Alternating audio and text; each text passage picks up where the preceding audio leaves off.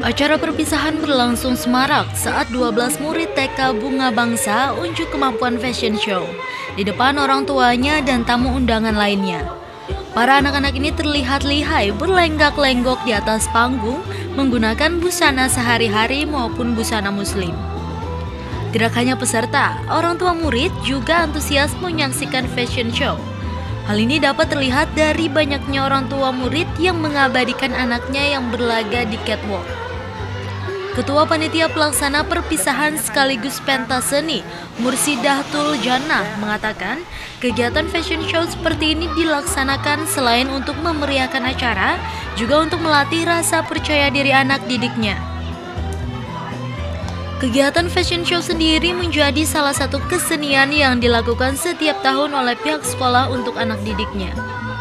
Depannya kami harapkan ada kompakan lembaga antara Yayasan Wilayah dengan lembaga sehingga uh, untuk yang di bawah pembinaan Yayasan Hidayah bisa lebih maju lagi. Dari 90 peserta didik TK Bunga Bangsa yang lulus berjumlah 56 orang, sedangkan yang naik ke kelas B berjumlah 34 anak. Ruliandi Rahman, TV Tabalong melaporkan.